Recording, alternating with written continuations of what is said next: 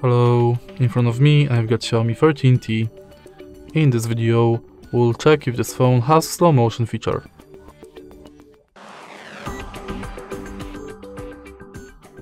In order to check it, let's go to camera and search for slow motion in modes.